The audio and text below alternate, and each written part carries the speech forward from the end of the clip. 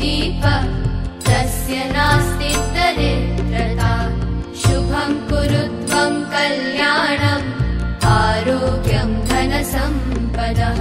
शुभं कुरु त्वं कल्याणम् आरोग्यं धनसम्पदः।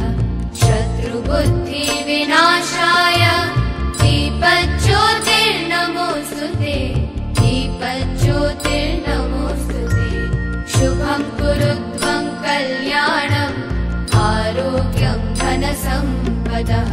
शुभं गुरुत्वं कल्याणम्।